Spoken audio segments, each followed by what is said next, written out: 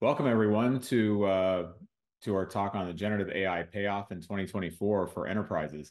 Uh, I'm Naveen Rao, and uh, I'll be introducing the topic um, here going forward. We have a lot of great great content towards the end as well, so please stay tuned. So, introduction, we're going to talk a little bit about some of the problems that we see. Generative AI is brand new, and we see that there's uh, a lot of excitement. But the reality is, when we start deploying these things in an enterprise context, there are lots of different things we have to think about. Consumer is one thing, enterprise has many different needs around accuracy and other things. So I'm going to show you a few examples of where, where current techniques break down. And then later on, we're going to show you uh, how we start addressing those with some product announcements. So there's a few things here that uh, have never been announced before. We're going to be seeing, you're going to be seeing a lot more from us over the next coming months. And also, we've already previewed some of this stuff with some of our customers like ADP, and uh, they're going to be here talking about their experience as well.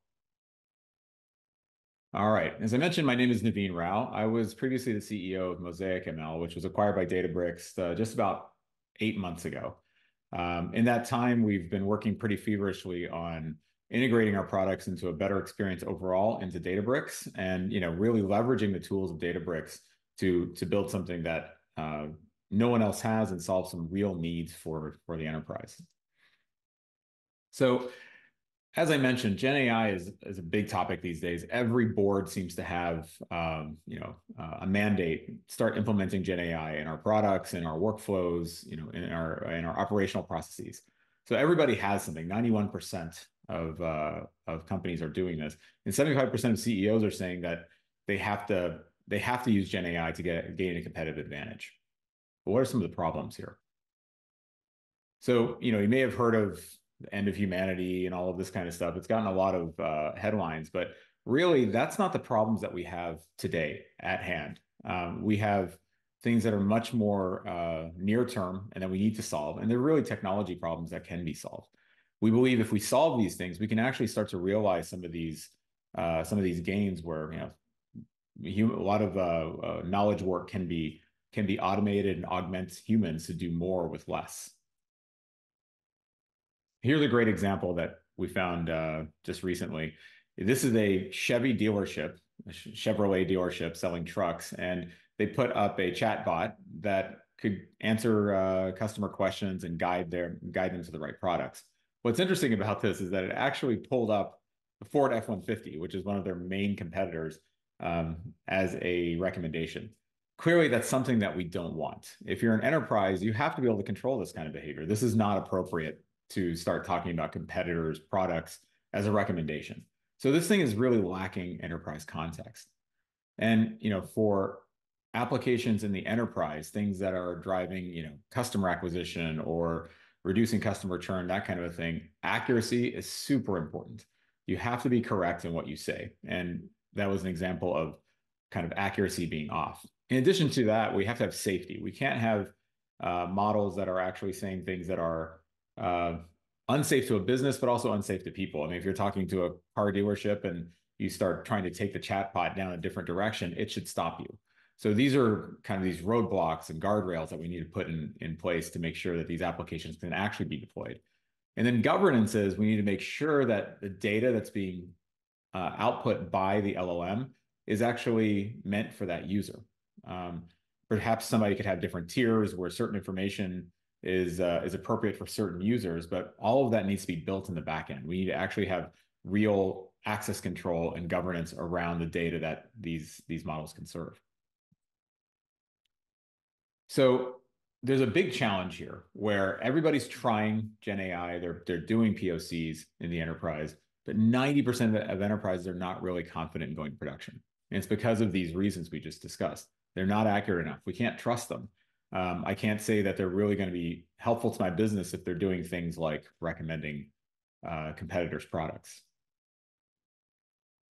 Here's another few examples. So at Databricks, all of the employees are called Bricksters. This is just a, a term that we use internally, but it's not a term that you probably would see on the internet so much. So if you ask GPT-4 here, uh, a Brickster is a character from a Lego Island video game. It doesn't have the semantics of understanding what that means when a, someone at Databricks asks this question. So that's lacking lacking uh, semantics and context. There was yet another uh, um, hallucination that caused some issues with Air Canada just recently. They uh, the the chatbot offered a refund to a customer when it shouldn't have, and now the airline is having to actually you know do this. And so I think this is the problem: is that when you make these bots um, actually be able to present information and make choices, they have to be accurate. And I think this hallucination actually costs this company money. Imagine if this is happening at scale. If there are millions of such customers, that could really impact the bottom line of a company.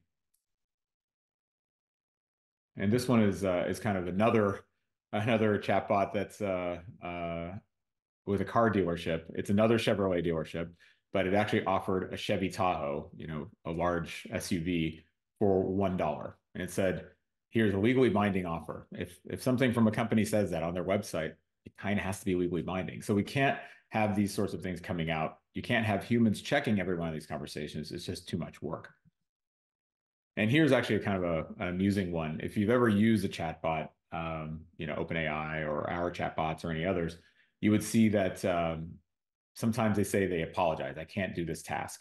Well, we need to catch that before it goes live on a website. So in this particular instance, these are uh, product descriptions that were meant to come out of a of a of an LLM, a large language model, um, and they probably have some sort of input that was supposed to drive a useful, maybe maybe even customized output as a description here. But clearly there was something wrong and it says, I cannot fulfill this request. Somebody needs to filter that. It wasn't, it wasn't, uh, you can't just put the raw content out there. And finally, uh, governance is about, you know, not driving information that uh, outward that should not be presented to that user. So Hanlin is our CTO of AI and Matei is our CTO of Databricks. And, you know, if Hanlin's asking a question about a phone plan saying it's too expensive, you can't then offer up Matei's plan and say this is Matei's plan. That violates privacy. So we need to have governance on these things. So it's, you know, everyone's very excited about the capabilities, and their capabilities are amazing. But at the same time, we have to make sure that we don't violate um, uh, the, the standard rules that we set forth. These are not new problems. They're just new problems in the world of generative AI. So really for application quality for enterprises is that we need accuracy, safety, and governance but we really need that customized on customer data. Uh, the initial way to do that was really prompt engineering or putting information into the prompt. We call this augmented generation, where I can put uh, enterprise context within the prompt. That does work, uh, but it doesn't work perfectly. It doesn't work for every situation. And that's the kind of tools that we offer here at Databricks. So th three unique things about us in generative AI specifically are we get you to production quality production quality is all of these things. It's the guardrails. It's the um, you know the way the, the wording comes out. All of that needs to be controlled and customized for a particular customer. If you're a car dealership talking to car buyers, it's very different than uh, a bank talking to banking customers, for instance. So these are different sorts of outputs. They have different flavors of language use, and all of that needs to be customized. And we need complete ownership over these things. As we start to customize models and their behavior, uh, and the outputs of the whole system, that's actually an IP creation event. Building something that actually services my customers better than my competition is a competitive advantage. It actually makes the company pretend, potentially be able to have greater sales or less turnover or, or some other way of increasing revenue. So that is IP creation in of itself. So, you know, giving that to another uh, company may not be the right the right decision. And all of this stuff is done with the lowest possible cost, doing it with the most efficiency possible. At Mosaic, one of the things we really did up front was address the, the problem of growing cost and making sure that we use compute most effectively. We could train a model with the least possible amount of compute and also serve that model with the least possible amount of compute. And so we've now crafted this whole platform into something that we believe leads us to maximizing generative AI quality. This is not something other people say. It's not about entertainment. It's about quality of output.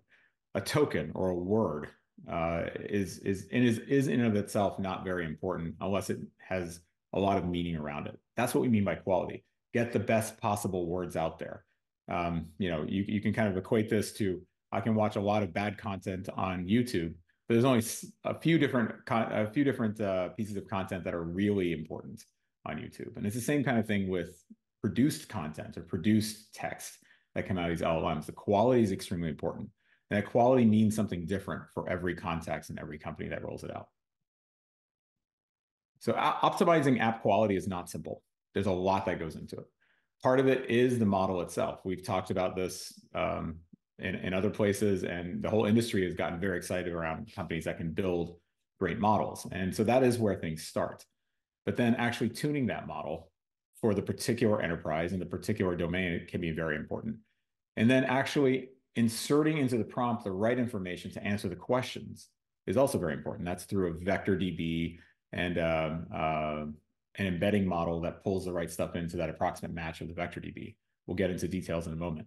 All of these things can work in concert, by the way. I can fine-tune a model uh, on a domain. I can adapt it to that domain, and then I can use a vector database with an embedding model to actually get better results.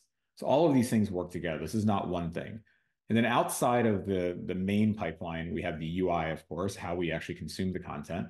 And then we have um, uh, monitoring of that content, you know, making sure there is no PII, actually maybe doing some post-generation filtering.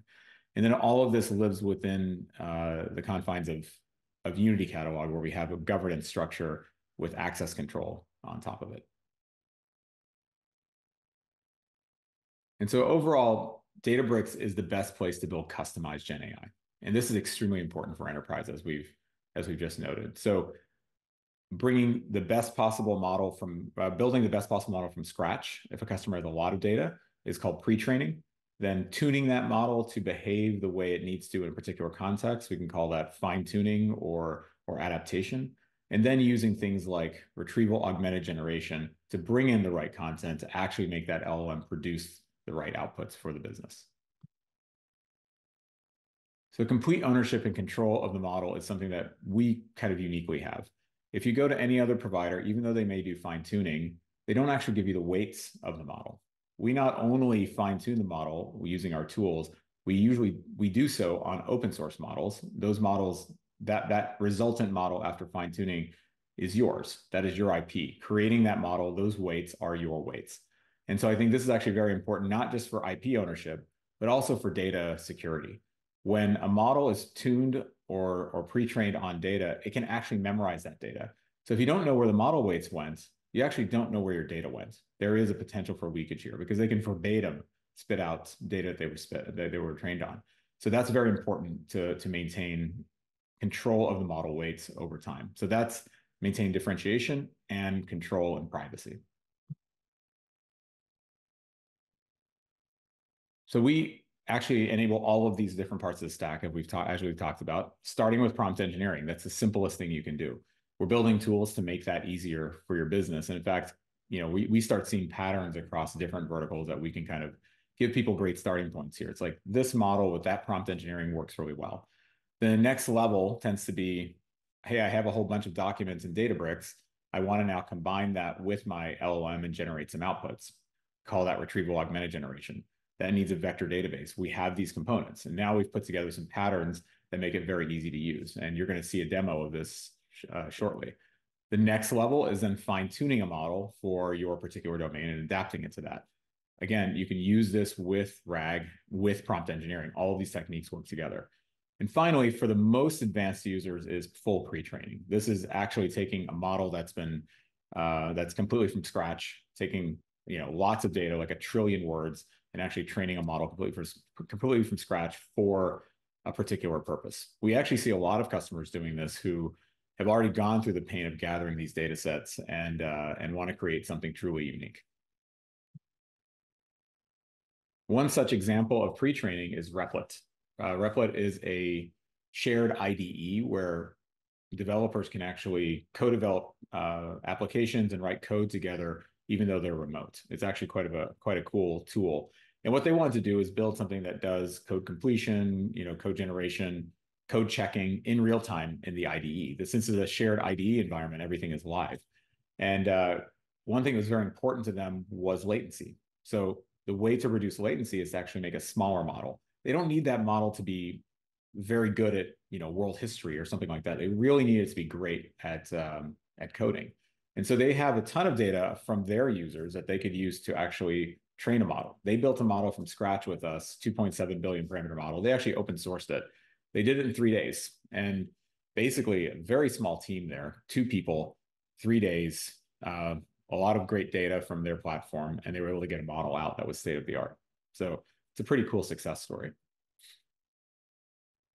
And, you know, company like Replit, they're they're a startup. They're growing very fast, and cost is very important to them. They can't spend millions of dollars on these kinds of things, and so they came to us to help them do this in the most cost cost-effective way as possible. So this is one of the things we prided ourselves on from the start was um, we started talking about Mosaic's law, which was every year a, a, neural network that has a certain capability will be will will continue to decrease in cost of training by a factor of four. And we're actually starting to see that. Um, this was an example of stable diffusion training.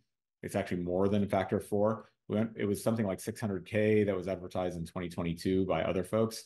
We brought it down to 160K in 2023, and now it's you know below 50K. I think it's even lower than this now. Keeps coming down as we get better at optimization, better algorithmic methods, you know, all kinds of tweaks to the whole um, uh, learning and training pipeline. And with LLMs, we saw something very similar. We saw in 2022, at the end of 2022, I think in uh, October, was about $450,000 to train a GPT-3 level model. That's now something on the order of 70, 75K. So this keeps coming down. It makes everything more accessible, and we are starting to see many more applications incorporate custom LLMs.